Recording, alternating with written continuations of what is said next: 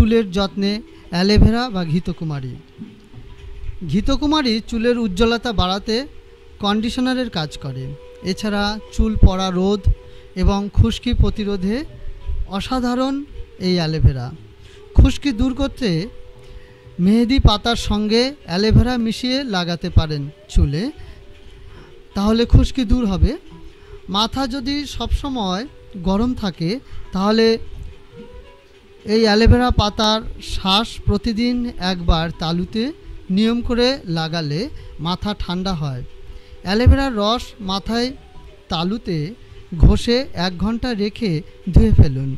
চুল পড়া বন্ধ হবে এবং নতুন চুল গজাবে। শ্যাম্পু করার আগে আধ ঘণ্টা অ্যালোভেরার রস পুরো চুলে লাগিয়ে রাখুন। এতে চুল ঝরঝরা ও উজ্জ্বল হবে। কন্ডিশনার হিসেবে ব্যবহার করা নিয়ম।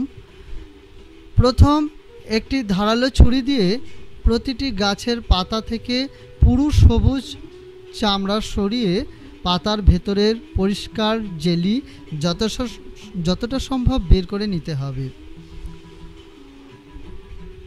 আস্তরণটি কাটার সময় সতর্কে থাকুন যে জেলি কাটার অংশের সাথে পড়ে না যায়। ব্লেন্ডারে এই জেলি নিয়ে ভালো করে ব্লেন্ড করুন। জল দেবার দরকার নেই। বের করার আগে দেখুন যেন সবটুকু জেলি খুব ভালো করে ব্লেন্ড হয়। এবার এটি মিশ্রণটি ভালো করে ছেঁকে নিন। জেলি ছেঁকে নেবার পর যেন তা এর মধ্যে সাদা অংশ থেকে আলাদা হয়ে আসে। এবার চুলের শ্যাম্পুর পরে চুলের আগা থেকে গোড়া পর্যন্ত এই জেলি ভালো করে ম্যাসাজ করে ম্যাসাজ করে মেখে নিন। চাইলে অন্য কোনো কন্ডিশনের সাথেও মিশিয়ে এটি ব্যবহার করতে পারেন। শেষ করছি আজকে এই ভিডিওটি। যদি আমার ভিডিওটি ভালো লাগে বা তোমাদের কাজে লাগে বা আপনাদের কাজে লাগে, অবশ্যই একটি লাইক, শেয়ার এবং সাবস্ক্রাইব করবে। তোমরা যদি লাইক, শেয়ার এবং সাবস্ক্রাইব করো, তাহলে আমি আরও নতুন নতুন ভিডিও তোমাদের জন্য নিয়ে আসব। তাহলে কি হবে?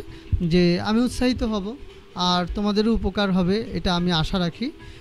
এই বলেই শেষ করছি। আমার সঙ্গে দেখা হবে আবার নতুন ভিডিওতে। নমস্কার।